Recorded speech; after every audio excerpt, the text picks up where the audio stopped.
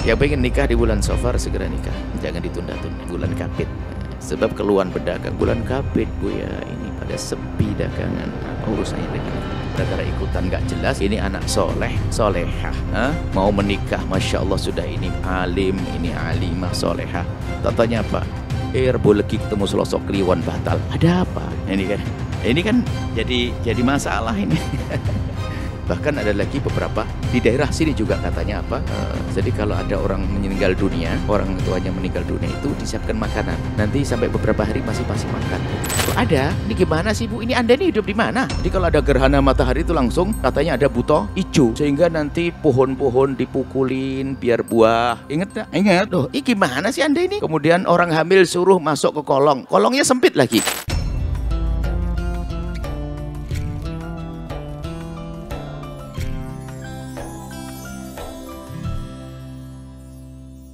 bulan Sofar yang di sana ada orang berkeyakinan bahwasanya ini adalah bulan petaka atau bulan musibah. Maka orang yang beriman tuh cara mengimani sesuatu tuh ada rambu-rambunya yang sangat jelas. Karena adanya musibah itu datang dari Allah.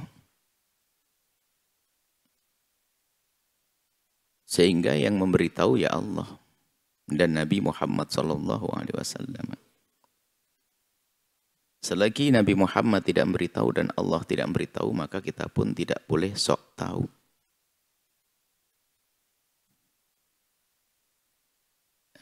Apakah Nabi pernah menyebutkan bulan Safar bulan petaka?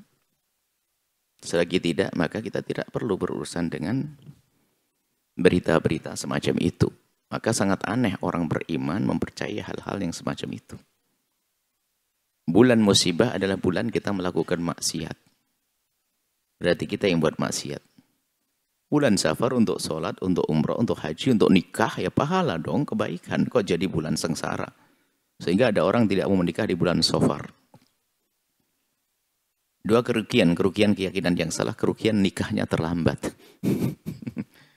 ini ini ada jadi tidak perlu. Jadi dalam agama kita itu ada rambu-rambunya di dalam mengimani sesuatu. Biarpun malam Jumat, tapi untuk maksiat jadi malam maksiat, malam sengsara. Ramadan bulan mulia, ayo bagi siapa? Yang berbuat baik, yang maksiat, wah sengsara di atas sengsara, kan begitu. Jadi jangan sampai ada kita mempercayai adanya bulan petaka sehingga menunda pernikahan bulan kecepit kayak bulan ada itu tidak ada. Kemudian juga ada hal lain lagi biasanya diyakini oleh sebagian orang di saat menemukan bulan Sofar ada rebu akhir di bulan Sofar atau sering disebut dengan rebu wekasan. Kita bisa ninjau dari sisi ilmiah cara beriman dan sisi husnudon. Sisi ilmiah bahwasanya siapa yang memberitakan adanya musibah datang di malam di hari Rebu Wekasan itu. Dari mana akan begitu? Siapa yang memberitakan? Sehingga kita harus mempercayainya. Baik, di sini sebuah pertanyaan. Yang menurunkan musibah dari adalah Allah. Tidak ada yang tahu kecuali Allah dan Rasulnya bahwasanya hari itu adalah hari diturunkan bencana dan petaka. Ada celah husnudon, mungkin adalah para waliullah. Para kekasih Allah yaitu karena adanya ilham. Ilham. Paham ilham? Ada para kekasih Allah diberi ilham. Bahwasanya di malam Rabu Bekasan anggap saja begitu kita masih khusnudon karena ada sebagian amalan ini dilakukan oleh orang yang menisbatkan kepada para wali. Oke, jadi ilham waliullah. Ilham waliullah, orang yang diduga sebagai wali lalu dapat ilham. Akan tetapi ilham pun kita tidak wajib mempercayainya. Artinya jika memang itu ilham para wali, dia mendapatkan ilham diberitahu bahwasanya di hari itu adalah ter akan turun malapetaka, maka yang mempercayai perkataan para wali silahkan mempercayai. Adapun yang tidak percaya nggak ada masalah. Akan tapi setelah itu yang akan menjadi pertanyaan adalah gimana solusinya? Jika seandainya betul ilham para wali, apa yang setelah itu kita lakukan? Kan begitu. Sementara ada satu riwayat yang sangat jelas dari baginda Nabi misalnya Majtama qaumun fi baitin min buyutillahi. Enggak ada orang berkumpul di rumah Allah di masjid yatluna kitab Allah ya rasunahu. Enggak ada orang yang berkumpul di di masjid membaca Al-Qur'an, saling mengajari kayak begini ini. Masjid itu dimaknai pas sebagian luas. Illa nazalat alaihimus sakinatu wa hafatumul malaikatu. Akan turun ketenangan. Nah, jadi nggak ada musibah lagi setelah itu. Jadi kalau pengen menolak musibah itu seperti daf'ul bala bisadaqati dan sebagainya. Tentunya seandainya itu betul ilham yang Allah berikan kepada para ulama, para wali, maka solusinya juga diambil dari Nabi, yaitu mengamalkan hal-hal yang diizinkan Nabi, diperintahkan Nabi seperti bersedekah, mengadakan kumpulan majlis zikir, bukankah majlis zikir akan diturunkan rahmat Allah sehingga balak bencana ada di, dihilangkan.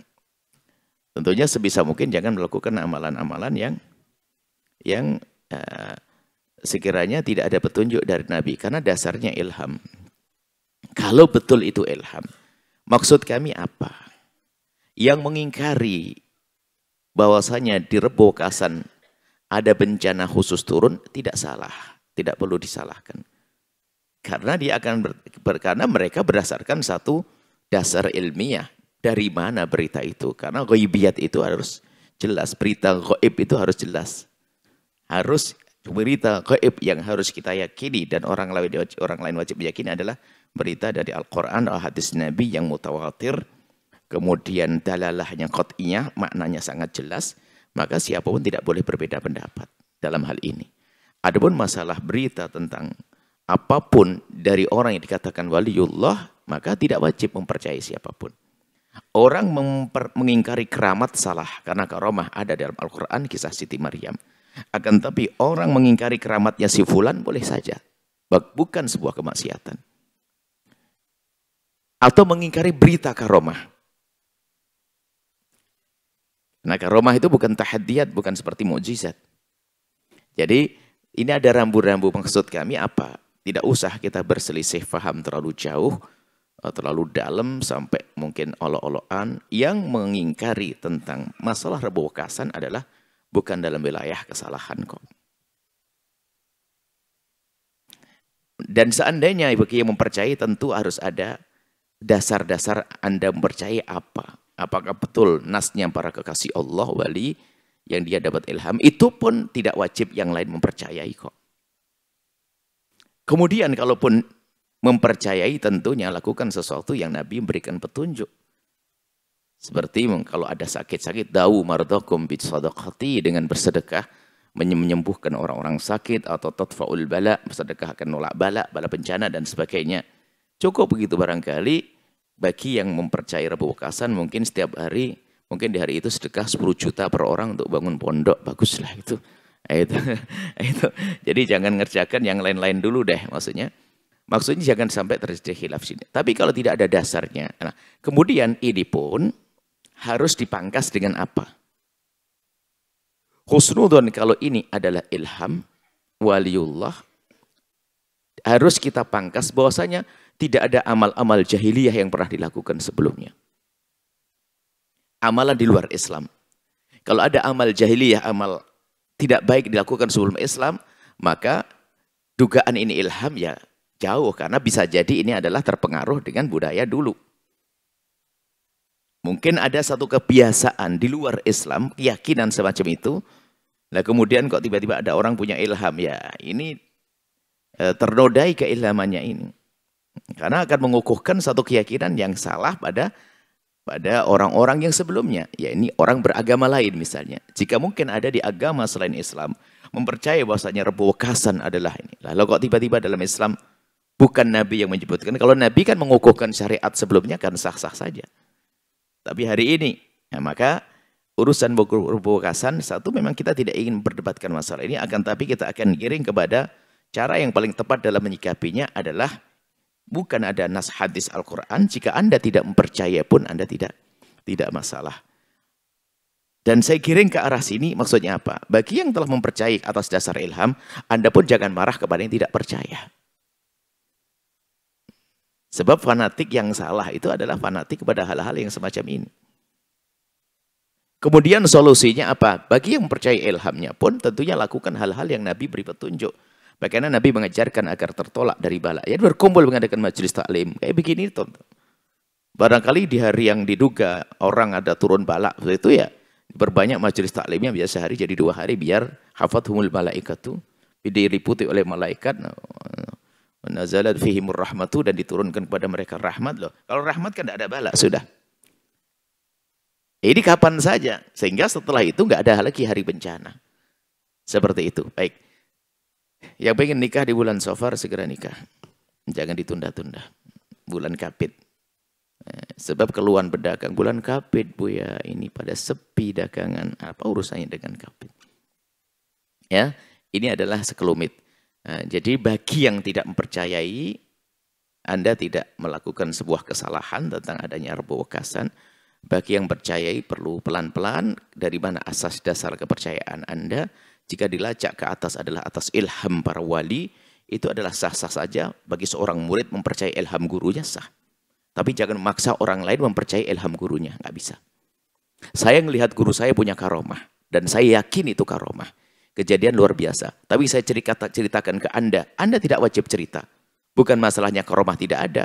Karena apa? Bisa jadi saya bohong. Gitu loh sederhananya. Jadi sederhana, ukuran syariatnya tuh ada, ilmunya tuh ada. Jadi jangan sampai kita uh, berlebihan itu menjadikan bahan tertawaan. Orang orang kenal Islam jadi unik aneh. Tidak di, tidak di alam nyata, dunia khayal seperti itu. Karamah memang kharikun lil adati. Keluar dari kebiasaan, namanya keramat seseorang. Uh, akan tapi Ketahuilah bahasa, semua ada rambu-rambunya. Jika jauh dari syariat, ya kita hindari. Atau paling tidak, ah, kalau bertentangan dengan syariat kita hindari. Atau perlu penafsiran lebih baik kita hindari. Kalau penafsiran tadi ini ilham, mungkin ilham. Karena turunnya musibah di hari Rabu masih mungkin. Mungkin hari Rabu, hari Kamis juga mungkin. Hari Jumat juga mungkin. Jadi kalau kita nisbatkan pada ilham, bisa saja itu benar. Yang percaya juga boleh, yang tidak juga nggak ada masalah. Asalkan yang percaya betul-betul benar sanatnya dari seorang wali yang betul-betul dia wali, yang memang betul ahli istiqomah dan tidak berpengaruh dengan pikiran-pikiran lain. Maksud kami seperti ini ada standar ilmunya seperti itu. Jadi gak jangan sampai kita gampang ikut-ikutan tapi gak jelas. Eh, sehingga sudah Masya Allah gara-gara ikutan gak jelas, ini anak soleh, solehah. Mau menikah, Masya Allah sudah ini alim, ini alimah, solehah. Tatanya apa? eh lagi ketemu selosok kliwon batal. Ada apa gitu. Ini kan ini kan jadi jadi masalah ini. Atau gara-gara kampung sini sama kampung sintu. Atau gara-gara aduh saya tidak mau nikah sama orang Sunda. Hei ini Sunda baik loh ya solehah loh. Batalan orang Sunda soleh nih. Anda mau sama orang Jawa. Ini kok ada nih. Jadi gara-gara gara-gara tidak tahu keyakinan-keyakinan. Uh, Orang Jawa curuh milih, hei orang Jawa, orang Jawa. Pilihanmu satu, ah, dua. Yang satu orang Sunda solehah, sama orang Jawa enggak solehah. Pilih mana? Ya solehahnya lah, kan gitu lah ibaratnya begitulah. Jadi lupakan masalah suku dan sebagainya, akan tapi hakikat kebaikan seseorang itu yang perlu kita kita pilih. Jadi ada keyakinan-keyakinan ada, enggak boleh ini, enggak boleh itu. Kalau anak pertama bapaknya enggak ada, enggak boleh menikah. Banyak yang sering datang dalam pertanyaan-pertanyaan aneh-aneh. Ilmu itu ada standarnya. Seperti itu. Nah, jadi semoga ya ini ada semuanya ini kami tuangkan dalam catatan di dalam kitab Sam'iyat itu adalah rambu-rambu. Setelah itu Anda boleh membangun keyakinan-keyakinan atas dasar rambu-rambu itu. Kalau tidak sesuai rambu, ya tidak wajib Anda meyakininya. Jadi ternyata poin ini yang sering dilupakan oleh seorang hamba. Gampang percaya. Loh, dasarmu apa percaya? Ini imanan loh ya. Ini keimanan, masalah keyakinan yang gaib. Gaib. Gaib itu sesuatu yang akan terjadi. Atau di alam yang lain.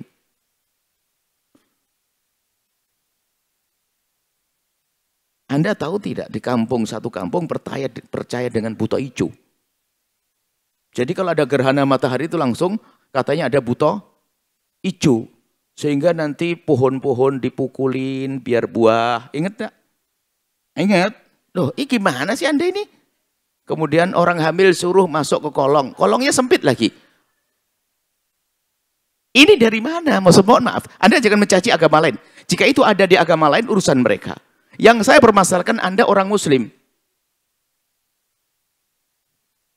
Jadi itu matahari, mata rembulan itu ditelan sama buta hijau dimut nanti dikeluarkan lagi sama buta hijau ajib ini ini orang Islam. Kalau ada orang punya keyakinan tentang ada dewa dewi, petara petara dan sebagainya, itu urusan agama mereka. Tapi Islam punya aturan loh ya.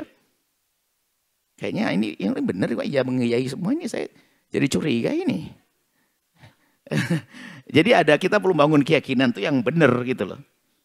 Nah ada dari mana kisah buta hijau itu dalam Islam tidak ada buta hijau. Lebih ajib buta pink hijau ya. Buta pink lebih ajib lagi ya udah.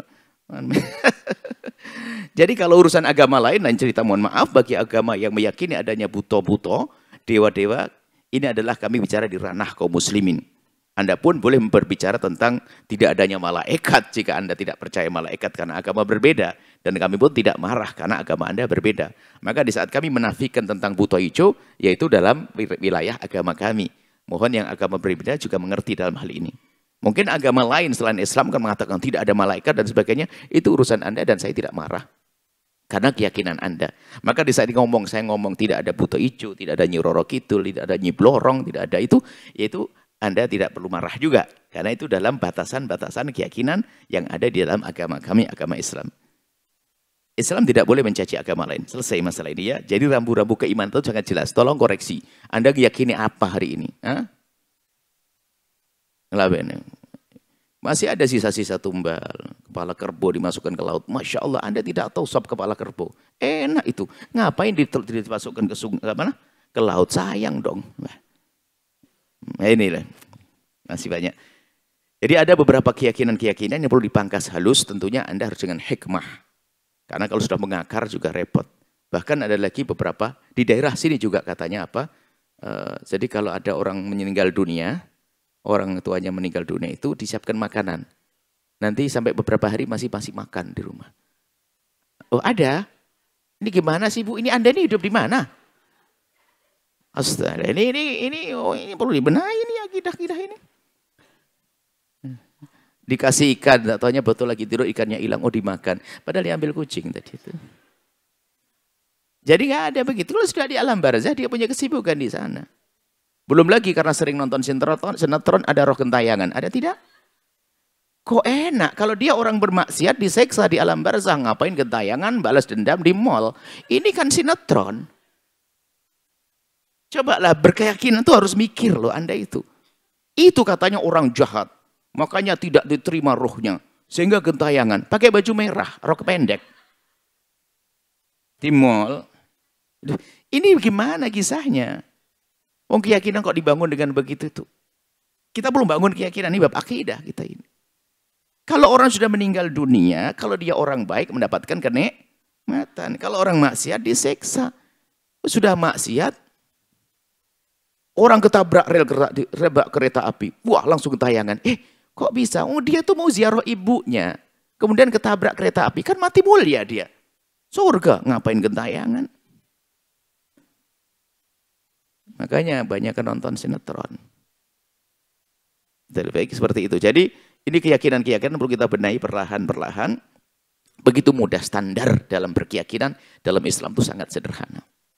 Kita percaya adanya jin karena Al-Quran menyebutkannya. Adanya syaitan, Al-Quran menyebutkannya. Nabi menceritakannya dan seterusnya. Tapi kisah-kisah begini dari mana kan begitu? Katanya, katanya, katanya.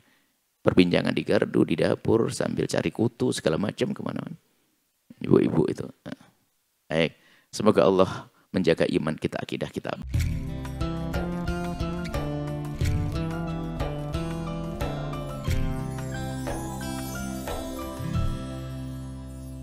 Sahabat Al-Baja TV, setelah menyaksikan video ini, jangan lupa bersolawat kepada baginda Nabi Muhammad.